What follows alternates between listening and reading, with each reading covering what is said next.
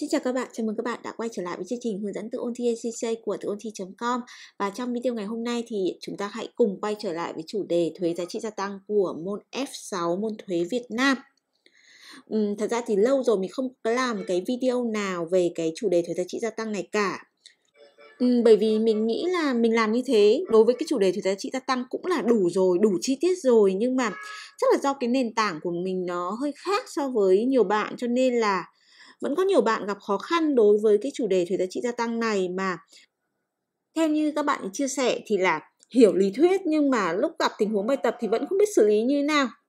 Chính vì vậy nên là trong video ngày hôm nay mình sẽ đi giải thích một số các cái dạng tình huống bài tập về thuế giá trị gia tăng trong các cái đề thi môn F6 các cái kỳ gần đây mà mình có. Trước khi mà đi vào chi tiết thì mình nói qua một chút là có một số bạn lo lắng rằng là có cái sự thay đổi trong các cái văn bản thuế gần đây thì liệu các cái video của môn F6 của mình có còn sử dụng được hay không? Thì mình xin trả lời rằng là cái đề thi của ACCA ấy, họ giới hạn cái phạm vi hiệu lực của văn bản. Ví dụ kỳ thi tháng 6 và tháng 12 của năm 2020 thì sẽ sử dụng các cái văn bản mà có hiệu lực đến 31 tháng 12 năm 2019. Chính vì vậy là một số cái sự ờ, thay đổi trong cái văn bản thuế mà cụ thể là thuế thu nhập cá nhân trong năm 2020 thì đến năm 2021 cái kỳ thi của 2021 chúng ta mới phải học Điều đó có nghĩa là toàn bộ các cái video môn F6 mà mình đăng trên cái kênh YouTube này hoàn toàn là phù hợp để các bạn ôn thi môn F6 và khi nào mà có sự thay đổi trong cái phạm vi văn bản áp dụng cho kỳ thi thì mình sẽ chủ động mình cập nhật lại nội dung video. Do vậy các bạn không cần phải lo lắng nhé. Bây giờ thì chúng ta hãy bắt đầu. Đầu tiên thì mình sẽ nói qua một chút về các cái tình huống thường gặp liên quan đến cái chủ đề về thuế giá trị gia tăng trong đề thi môn F6. Nói chung là thuế giá trị gia tăng nói đi nói lại thì cái cách tính của nó cũng rất là đơn giản, đúng không ạ? Giá trị tính thuế nhân với thuế suất tương ứng. Rồi ờ, thuế giá trị gia tăng phải nộp thì sẽ bằng thuế giá trị gia tăng đầu ra phát sinh mà trừ đi thuế giá trị gia tăng đầu vào được khấu trừ. Chính vì vậy nên mình sẽ rất là ngạc nhiên nếu như mà câu hỏi trong đề thi nó hỏi theo kiểu là các bạn hãy tính thuế giá trị gia tăng phát sinh từ một cái giao dịch thông thường. Ý mình ở đây là, để có cái mà hỏi, để đánh giá năng lực thí sinh thì người ta sẽ tập trung vào các cái trường hợp mà đặc biệt một chút đối với thuế giá trị gia tăng. Thế nào là trường hợp đặc biệt thì tức là các cái trường hợp mà nó sẽ có cái quy định riêng về thuế giá trị gia tăng, ví dụ như là hàng hóa, dịch vụ sử dụng để khuyến mại, biếu tặng hay là tiêu dùng nội bộ hay là bị hư hại hay là đối với các cái trường hợp mà không phải chịu thuế giá trị gia tăng hay là không phải kê khai nộp thuế giá trị gia tăng như là uh, tiền bồi thường hay là tiền lãi vay? Đề thi thì cũng có thể hỏi đối với các cái giao dịch các cái trường hợp khi mà không tách biệt được giữa cái uh, thuế giá trị gia tăng của hoạt động kinh doanh chịu thuế và hoạt động kinh doanh không chịu thuế. Hoặc là hỏi về cái thuế giá trị gia tăng của các cái dự án đầu tư hoặc là thuế giá trị gia tăng của các cái dự án bất động sản thì đó là những cái trường hợp mà nó tương đối đặc biệt đối với thuế giá trị gia tăng. Mà do đó thì đề thi có thể người ta sẽ hỏi. Nhưng mà điều đó thì không có nghĩa là các bạn không học về bản chất của thuế giá trị gia tăng mà chỉ đi học các trường hợp đặc biệt nhé. Bởi vì là có đặc biệt thì cũng phải xuất phát từ cái hiểu biết về cái sự thông thường là như thế nào, thì sau đó chúng ta mới lý giải là đặc biệt là như thế nào, đúng không? Chính vì vậy đây là bạn nào mà chưa xem các cái video mà mình giải thích về bản chất của thuế giá trị gia tăng cũng như các tình huống thông thường của thuế giá trị gia tăng thì các bạn hãy xem đi trước đã. Sau đó thì hãy tiếp tục với video này. Tình huống đầu tiên mà chúng ta đi xem xét đó là một cái câu hỏi lựa chọn trong đề thi của kỳ tháng 12 năm 2018. Tình huống đưa ra là công ty DFC và công ty SBI thì đều là công ty Việt Nam. Công ty Việt Nam đây chúng ta hiểu là các cái công ty được thành lập theo cái pháp luật đầu tư tại Việt Nam được chưa ạ? Và công ty DFC thì ờ, đã bán hàng cho công ty SBI với tổng cái giá trị hợp đồng đã bao gồm thuế giá trị gia tăng 10% là 4 tỷ 840 triệu. Biết rằng là theo điều khoản hợp đồng thì công ty SBI sẽ phải thanh toán trong vòng một tháng kể từ ngày hóa đơn, hoặc là trả lãi 1% một tháng cho mỗi tháng trả chậm tính trên giá trị hợp đồng. Biết rằng là công ty SBI thì đã thanh toán hóa đơn 4 tháng sau khi công ty DFC phát hành hóa đơn vào ngày 31 tháng 5 năm 2017. Yêu cầu ở đây là hãy xác định giá trị VAT đầu ra phát sinh mà công ty DFC phải kê khai trong năm 2017. tức là giả sử là không có cái giao dịch khác mà chúng ta chỉ xem xét đúng cái giao dịch này thôi trước khi mà cắm đầu cắm cổ vào tính toán thì chúng ta hãy tạo cho mình cái thói quen là đặt ra câu hỏi xem là đối với cái tình huống đề bài này, giám khảo người ta muốn kiểm tra cái gì của chúng ta các bạn cứ hình dung như này nếu như các bạn là giám khảo thì khi mà các bạn nghĩ ra một câu hỏi thì bao giờ bạn cũng sẽ có cái định hình là à mình muốn kiểm tra kiến thức gì, đúng không vậy thì bây giờ chúng ta hãy đặt chúng ta vào vai trò của giám khảo thì chúng ta sẽ biết là người ta muốn kiểm tra chúng ta về vấn đề gì và đâu là vấn đề chúng ta cần phải tập trung vào để tránh sai sót thì trong cái tình huống này, cái điểm nổi bật nhất chính là công ty SBI này phải thanh toán trong vòng một tháng kể từ ngày hóa đơn hoặc trả lãi 1% trên một tháng cho mỗi tháng trả chậm. Đúng không ạ? Tức là người ta đang muốn kiểm tra chúng ta về việc tính thuế giá trị gia tăng phát sinh từ cái giao dịch bán hàng mà mua theo hình thức là trả chậm trả góp. Thì chúng ta hình dung thế này, trong cái trường hợp mà mua hàng theo hình thức trả chậm trả góp ấy và phát sinh cái lãi trả chậm trả góp ấy thì cái số tiền mà cái người bán hàng nhận được nó không chỉ là cái giá trị của cái hàng hóa dịch vụ mà nó còn bao gồm một phần cái phần tiền lãi phát sinh từ việc uh, trả chậm trả góp đúng không ạ? Mà cái lãi từ trả chậm trả góp thì nó lại là thu nhập từ hoạt động tài chính, chứ không phải là từ hoạt động bán hàng hóa dịch vụ. Đúng không? Bởi vì là coi như là tôi cho anh vay cái số tiền đó và anh phải trả lãi cho tôi trong cái thời gian anh vay. Mà theo cái quy định về thuế giá trị gia tăng, thì cái thu nhập từ hoạt động tài chính, từ hoạt động cho vay này thì lại không phải cái đối tượng chịu thuế giá trị gia tăng chính vì vậy nên là chúng ta có thể biết ngay được rằng là cái giá tính thuế giá trị gia tăng đối với cái trường hợp mà hàng hóa trả chậm trả góp ấy nó sẽ là cái doanh thu bán hàng không bao gồm thuế giá trị gia tăng. Và là cái giá bán theo như là cái giá bán trả tiền ngay chứ không bao gồm cái tiền lãi trả góp trả chậm ở đây. Thì đấy là chúng ta suy luận về mặt logic nhé còn về mặt văn bản quy định thì sao? Thì uh, theo quy định tại khoản 7 điều 7 thông tư 219 thì hàng cái giá tính thuế giá trị gia tăng của cái hàng hóa bán theo phương thức uh, trả góp trả chậm sẽ là cái giá tính theo giá bán trả một lần chưa có thuế giá trị gia tăng không bao gồm khoản lãi trả góp trả chậm văn bản nó cũng quy định rõ ràng như vậy thì như vậy áp dụng ở trong cái tình huống của chúng ta cái giá trị hợp đồng 4 tỷ 840 triệu ở đây là giá đã bao gồm thuế giá trị gia tăng nhưng chưa bao gồm lãi trả chậm. Thì như vậy, đây sẽ là cái cơ sở để chúng ta xác định ra cái giá tính thuế giá trị gia tăng của cái giao dịch này. Chúng ta không cần phải quan tâm đến cái vấn đề là cái số tiền lãi trả góp trả chậm mà công ty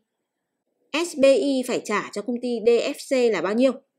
Bởi vì nó là không phát sinh thuế giá trị gia tăng mà, đúng không ạ? Để mà tính ra được cái giá tính thuế giá trị gia tăng của cái giao dịch này chúng ta sẽ lấy cái giá đã bao gồm thuế giá trị gia tăng là 4 tỷ 840 triệu chúng ta chia cho 1 cộng với 10% đúng không ạ? Sau đó ta lấy cái giá tính thuế này ta nhân với cái thuế suất 10% thì ta sẽ ra được cái thuế giá trị gia tăng đầu ra phát sinh là bằng 440 triệu. Đó, phân tích ra thì lâu chứ còn tính toán rất nhanh. Một bước là xong. Thì đó là cái tình huống thứ nhất. Bây giờ chúng ta sang cái tình huống thứ hai cũng là một cái ờ, tình huống trong đề thi của kỳ tháng 12 2018 là về công ty RFD. Đây là công ty Việt Nam có trụ sở tại Hà Nội. Tháng 12 năm 2017 thì ờ, công ty có cái số VAT đầu ra phải nộp, tức là cái số đã bù trừ giữa đầu ra phát sinh với cả đầu vào được khấu trừ đó từ cái hoạt động của trụ sở tại Hà Nội là 2 tỷ. Biết rằng là công ty RFD này thì còn có hai cái dự án đầu tư khác nữa và hai cái dự án đầu tư này đang trong cái giai đoạn xây dựng cơ bản chưa có doanh thu. Dự án A ở Hà Nội thì có phát sinh VAT đầu vào là 1 tỷ 500 triệu. Dự án B ở Vĩnh Phúc thì có phát sinh VAT đầu vào là 400 triệu. Yêu cầu ở đây là hãy lựa chọn cái cách xử lý đúng đối với cái thuế giá trị gia tăng đầu vào của hai cái dự án đầu tư A và B này. Trước khi mà mình giải thích thì các bạn hãy thử dành một phút suy nghĩ xem là giám khảo người ta đang muốn kiểm tra chúng ta vấn đề gì trong cái tình huống này chắc không cần đến một phút các bạn cũng có thể nghĩ ra được, đúng không bởi vì là cũng rất là đơn giản thôi. Cái tình huống này thì người ta đang muốn kiểm tra chúng ta về cái cách xử lý VAT của các cái dự án đầu tư mà đang trong giai đoạn xây dựng cơ bản chưa đi vào hoạt động. Bởi vì đang trong cái giai đoạn xây dựng cơ bản chưa đi vào hoạt động. Cho nên chúng ta hiểu nó là các cái dự án này nó chưa hình thành một cái pháp nhân riêng độc lập với cái công ty. Chính vì vậy nên là nó chưa thể tự kê khai thuế được mà cái trụ sở tại Hà Nội sẽ phải thực hiện kê khai thuế cho hai cái dự án A và B này. Tất nhiên là cái tờ khai thuế thì nó sẽ độc lập với cái tờ khai thuế của trụ sở tại Hà Nội. Để mà xử lý được cái tình huống này thì chúng ta phải tham chiếu những cái quy định trong thông tư 130 2016 tức là nó sửa đổi bổ sung cái thông tư 219. Cụ thể là theo quy định tại khoản 3 điều 1 thông tư 130 thì các cái cơ sở kinh doanh mà đang hoạt động thuộc cái đối tượng nộp thuế giá trị gia tăng theo phương pháp khấu trừ và có cái dự án đầu tư mới đang trong cái giai đoạn đầu tư chưa đi vào hoạt động thì dù là cái dự án đó được thực hiện ở cùng tỉnh hay là khác tỉnh với cái trụ sở.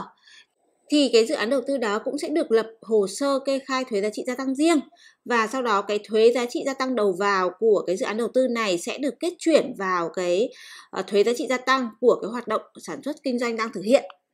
Sau khi mà kết chuyển bù trừ, nếu như mà cái số thuế giá trị gia tăng đầu vào của dự án mà chưa được khấu trừ hết,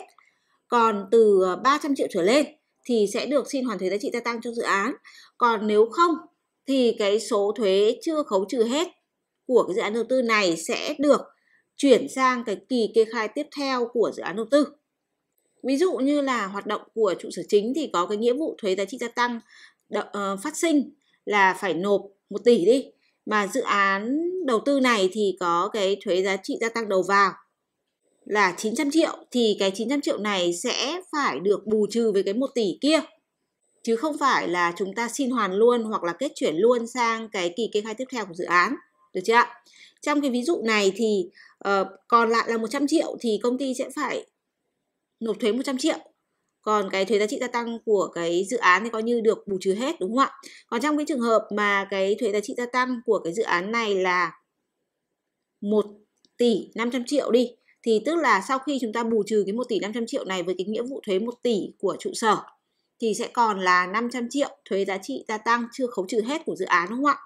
Thì cái số 500 triệu này nó lớn hơn 300 triệu, cho nên là công ty sẽ được xin hoàn thuế giá trị gia tăng cho dự án. Còn trong cái trường hợp là chỉ là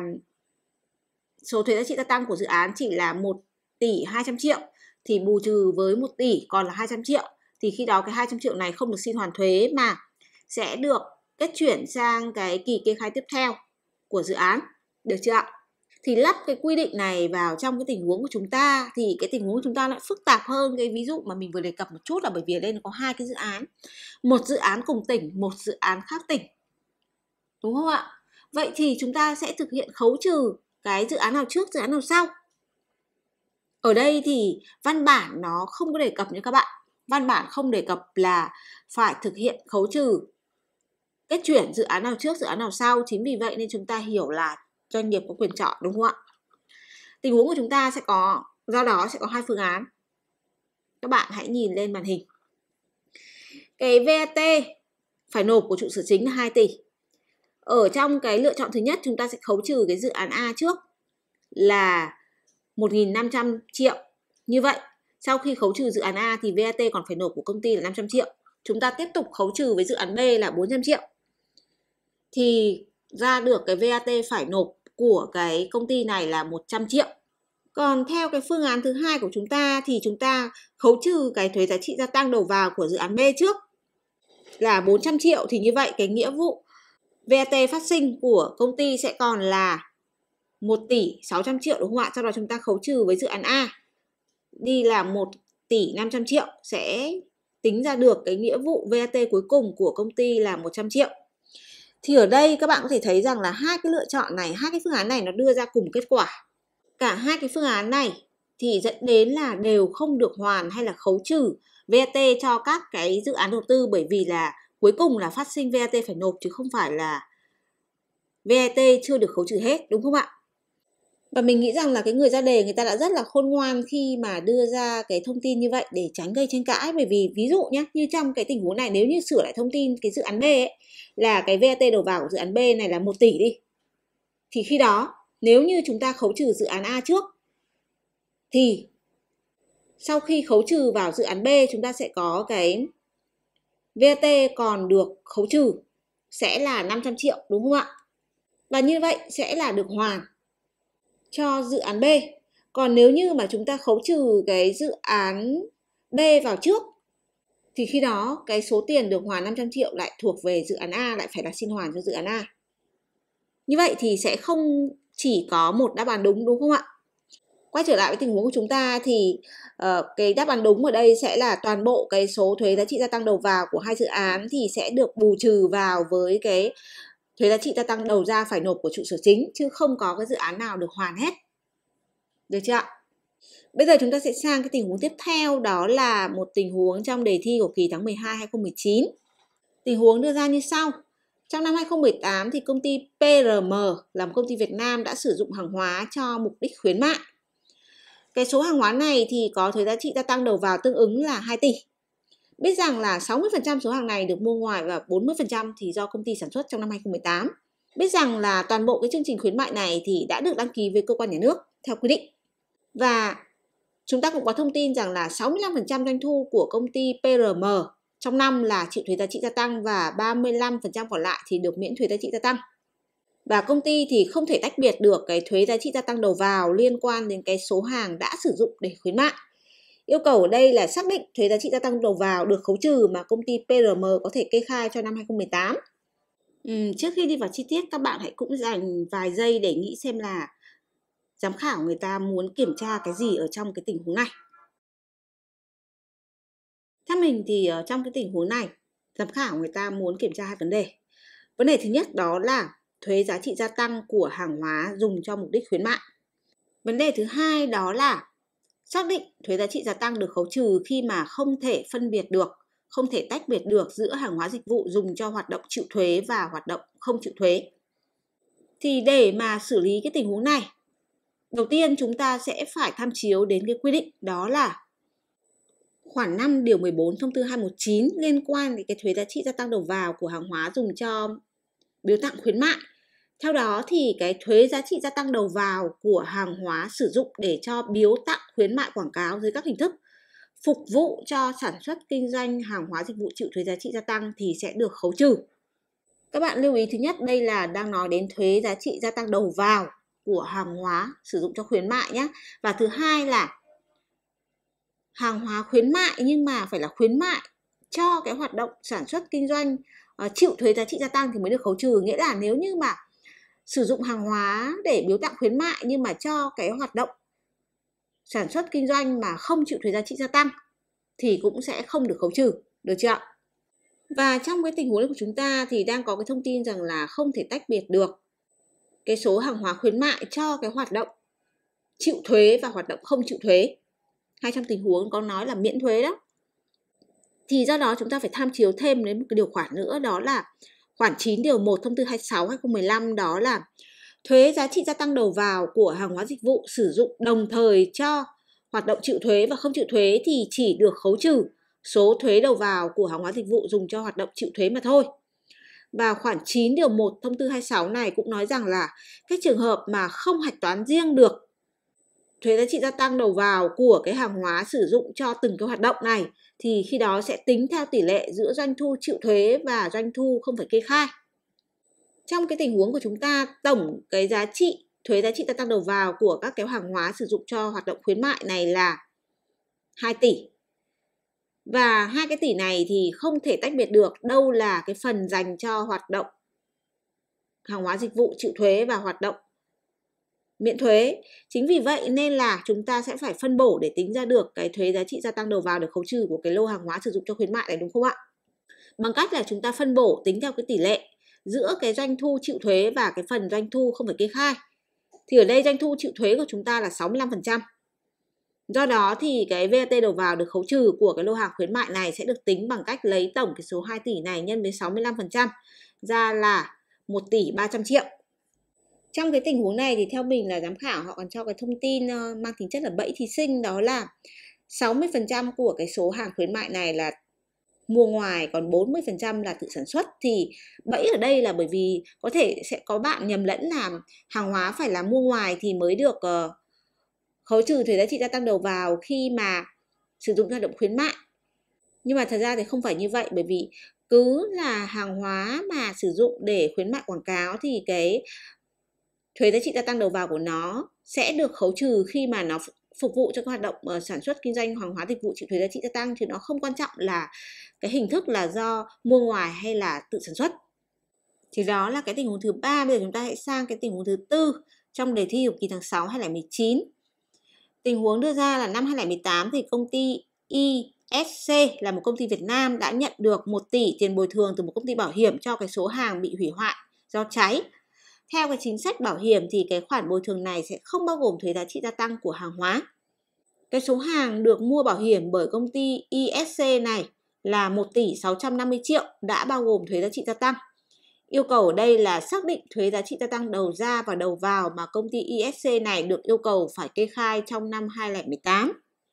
Trong cái tình huống này, chúng ta thấy rằng là cái giá trị số hàng được mua bảo hiểm là 1 tỷ 650 triệu đã bao gồm thuế giá trị gia tăng. Như vậy, cái giá trị hàng được mua bảo hiểm mà chưa bao gồm thuế giá trị gia tăng sẽ là 1 tỷ 650 triệu chia cho 1 cộng 10% bằng 1 tỷ 500 triệu, đúng không? Và cái số hàng 1 tỷ 500 triệu này công ty nhận được số tiền bồi thường là 1 tỷ. Như vậy là có thể thấy số tiền bồi thường đây sẽ tương ứng với khoảng 2 phần 3 giá trị tiền hàng. Thì ờ, thế cũng là bình thường nha các bạn. Các cái công ty bảo hiểm người ta bán bảo hiểm hàng hóa thì tùy vào cái mức phí bảo hiểm thì có thể là cái tỷ lệ bồi thường người ta sẽ thấp hoặc cao hơn.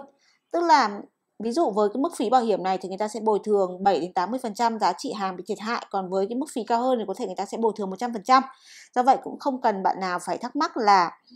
tại sao tình huống lại đưa ra bồi thường có khoảng tầm 2 phần 3 giá trị tiền hàng như vậy.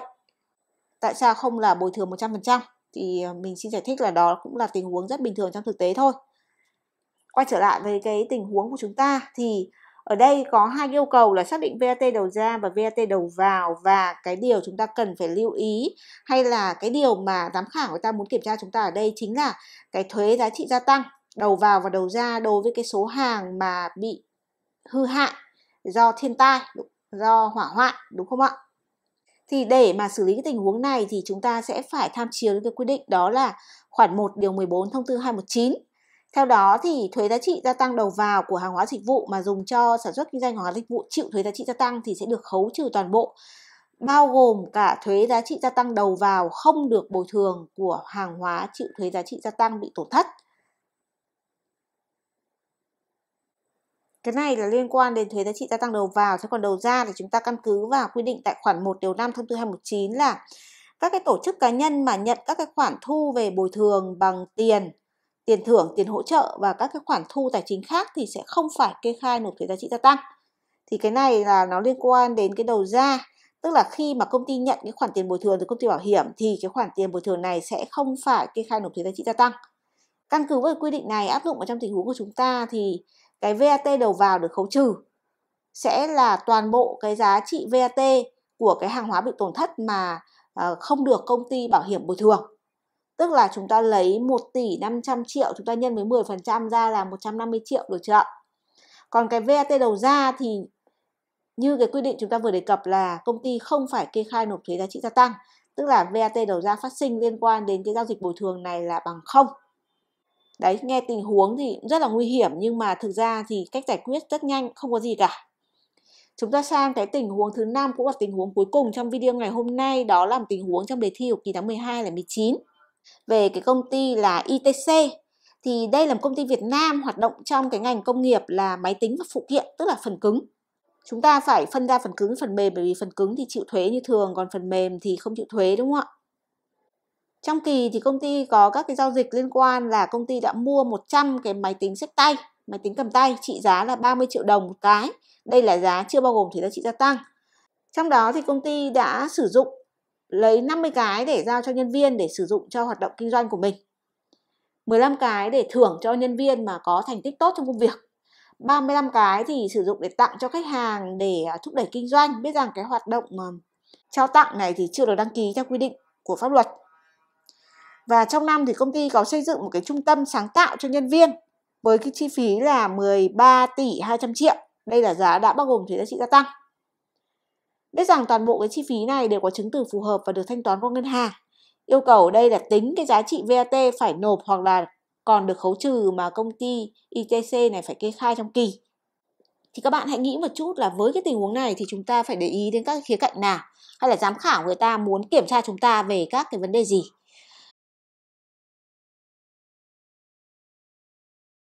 Cái vấn đề thứ nhất có thể kể ở đây đó là hàng hóa sử dụng nội bộ. Đúng không ạ?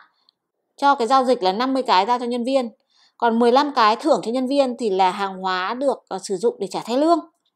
Còn 35 cái tặng cho khách hàng là hàng hóa sử dụng để khuyến mại. Tiếp theo là xây dựng một trung tâm sáng tạo cho nhân viên thì đây là hoạt động tự xây dựng tài sản cố định để phục vụ cho hoạt động sản xuất kinh doanh. Thì chúng ta sẽ phải lần lượt đi tham chiếu đến các cái quy định mà tương ứng với các cái vấn đề này Đầu tiên là chúng ta căn cứ vào khoản 1 điều 14 thông tư 219 là thuế giá trị gia tăng đầu vào của hàng hóa dịch vụ dùng cho sản xuất, kinh doanh hàng hóa dịch vụ chịu thuế giá trị gia tăng sẽ được khấu trừ toàn bộ. Thì cái này là tương ứng với cái giao dịch là mua 100 cái máy tính sách tay để phục vụ cho hoạt động sản xuất kinh doanh, đúng không ạ? Thì như mình đã nói là ở đây là công ty phần cứng, liên quan đến máy tính và các phụ kiện là phần cứng, do vậy là hoạt động chịu thuế giá trị gia tăng, do vậy 100 cái máy tính mà mua về để phục vụ cho các hoạt động này thì cũng sẽ được khấu trừ thuế giá trị gia tăng đầu vào toàn bộ. Tiếp theo, chúng ta căn cứ vào khoản 2 điều 3 thông tư 119 là hàng hóa luân chuyển nội bộ hoặc hàng hóa dịch vụ do cơ sở kinh doanh xuất hoặc cung ứng sử dụng, phục vụ hoạt động kinh doanh của cơ sở kinh doanh thì sẽ không phải tính nộp thuế giá trị gia tăng. Tức là 50 cái máy tính mà xuất cho nhân viên sử dụng cho hoạt động kinh doanh thì sẽ không phải tính nộp VAT đầu ra đúng không ạ khi mà xuất kho. Tiếp theo cũng tại quy định tại điều này thì trường hợp tự xây dựng tài sản cố định để phục vụ sản xuất kinh doanh hàng hóa dịch vụ chịu thuế giá trị gia tăng thì khi hoàn thành sẽ không phải lập hóa đơn và VAT đầu vào hình thành nên tài sản cố định tự làm được kê khai khấu trừ theo quy định. Cái quy định này thì nó ứng với cái chi phí mà công ty bỏ ra để tự xây dựng cái trung tâm sáng tạo cho nhân viên, tức là cái khoản chi phí đầu vào 13 tỷ 200 triệu đã bao gồm thuế giá trị gia tăng đó thì cái chi phí cái thuế giá trị gia tăng đầu vào của khoản chi phí này sẽ được khấu trừ VAT. Còn công ty sẽ không phát sinh VAT đầu ra khi mà đưa cái tài sản cố định tự xây dựng này vào sử dụng. Được chưa ạ? Quy định tiếp theo mà chúng ta phải đề cập đến đó là khoản 3 điều 7 thông tư 219 mà theo đó là các cái hàng hóa dịch vụ mà dùng để trao đổi, biếu, tặng, cho, trả thay lương thì cái giá tính thuế giá trị gia tăng đối với hàng hóa dịch vụ này sẽ là cái giá tính thuế của hàng hóa dịch vụ cùng loại hoặc tương đương tại thời điểm phát sinh. Cái quy định này là để áp dụng đối với 15 cái máy tính được sử dụng để thưởng cho nhân viên có thành tích xuất sắc. Thưởng tức là trả thay lương, đúng không? Tức là thay vì thưởng bằng tiền thì bây giờ tôi thưởng bằng máy tính. Thì tức là khi mà công ty xuất kho 15 cái máy tính này để thưởng cho nhân viên sẽ phải tính cái thuế giá trị gia tăng đầu ra. Coi như hoạt động bán hàng thôi. Tiếp theo là khoản 5 điều 7 thông tư 219 là hàng hóa dịch vụ mà dùng để khuyến mại theo quy định. Thì khi mà xuất hàng ra để khuyến mại ấy, cái giá tính thuế sẽ được xác định bằng không. Còn nếu như mà công ty không thực hiện quy định về ờ, khuyến mại các thứ theo yêu cầu thì khi đó hàng hóa dịch vụ này sẽ phải tính nộp thuế giá trị gia tăng đầu ra như thông thường. Thì tình huống này của chúng ta là công ty chưa đăng ký theo quy định. Do vậy khi mà xuất 35 cái máy tính ra để tặng khách hàng thì sẽ phải kê khai VAT đầu ra, tức là VAT đầu vào vẫn được khấu trừ nhưng VAT đầu ra thì phải nộp. Áp dụng vào trong tình huống của chúng ta thì chúng ta có thể lập thành một cái bảng tính như sau. Chúng ta đi xem xét từng giao dịch. Đầu tiên là giao dịch mua 100 cái máy tính sách tay thì VAT đầu vào được khấu trừ toàn bộ đúng không ạ? Chúng ta lấy 30 triệu nhân với cả 100 cái và nhân với tỷ lệ thuế suất là 10%. Ta ra được VAT đầu vào là 300 triệu được khấu trừ. Sau đó là 50 cái máy tính giao cho nhân viên sử dụng thì chúng ta đã đề cập đến cái quy định là cái hàng hóa mà sử dụng cho nội bộ hoạt động sản xuất kinh doanh thì sẽ không phát sinh VAT đầu ra. Đúng không ạ? Do vậy VAT đầu ra phát sinh đây bằng 0. 15 cái máy tính thưởng cho nhân viên. Thì bởi vì đây là hàng hóa sử dụng trả thay lương, do vậy phát sinh VAT đầu ra theo quy định. Tính bằng cách là ta lấy 30 triệu nhân với 15 cái và nhân với thuế suất 10% ra là 45 triệu phải nộp. 35 cái tặng khách hàng thì bởi vì hoạt động khuyến mại của công ty là chưa được đăng ký theo quy định, do vậy là phát sinh VAT đầu ra. Ta lấy 35 cái nhân với 30 triệu sau đó nhân với 10% ra 105 triệu. Tiếp theo là xây dựng cái trung tâm sáng tạo cho nhân viên, thì bởi vì là VAT đầu vào thì được khấu trừ toàn bộ, trong khi VAT đầu ra thì không phát sinh. Thì ta sẽ lấy là 13 tỷ 200 triệu ta chia cho 1 cộng với 10%, ta nhân với 10% thì ra được cái VAT tương ứng của cái chi phí này là 1 tỷ 200 triệu. Như vậy, cộng tổng VAT đầu vào ta có VAT được khấu trừ là 1 tỷ 500 triệu. Trong khi đó VAT đầu ra phải nộp là 150 triệu. Như vậy trong kỳ công ty sẽ còn được kê khai là 1 tỷ 350 triệu. Thuế giá trị gia tăng còn được khấu trừ. Như vậy là mình đã đi giải thích xong năm cái tình huống bài tập trong đề thi của môn F6 liên quan đến cái chủ đề về thuế giá trị gia tăng. Rất hy vọng là đã có thể giúp ích cho cái việc học của các bạn. Cảm ơn các bạn đã theo dõi và hẹn gặp lại các bạn ở video tiếp theo nhé.